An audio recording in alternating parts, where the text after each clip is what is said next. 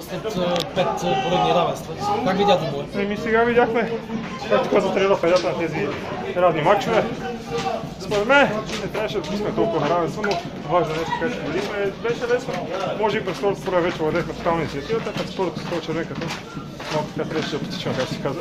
Но важно е всичко да свършим добре, няма какво да се Каква е твоята оценка за целия полусезон? Ботев в момента е пети преди изиграването на другите мачове. Мисля, че е много добър сезон. За нас и пак казвам, тази парите от фиксове, когато сме учили поне 50% от тези мачове, ще се влизат за трето място, но важното е, че завършваме годината добре и вече да мине последния матч за купата, да, го, да може да всичко нормално да го спечелим и вече да мислим как да се възстановим, да починем и да, да направим нормална подготовка за втората клас. Ще да го пазите концентрация за този последен Да, да, естествено. Те пак веднъж ще играем полуфинал за купата, което е нашата цел. Всичко останали, ако може да защитим естествено, трудно ще е, но и сега ще сме в този матч и трябва да го покажем там. С оглед на трудната победа на Царско село, възможно ли е подценяване?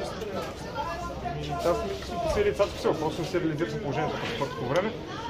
Мисля, че не би трябвало да има подценяване, ще гледам се напълно мотивирани за този матч и за не